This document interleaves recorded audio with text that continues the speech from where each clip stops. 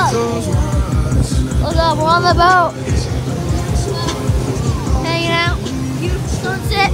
Having a good time. Head back in. My mom left our car key and the purse that she forgot at a restaurant. So bye guys. Sorry guys, never mind. Um, I forgot I had it on 50 seconds. Anyways, it's a beautiful day outside.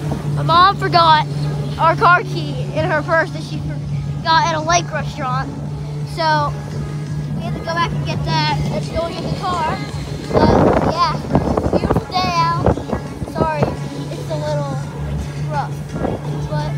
See y'all.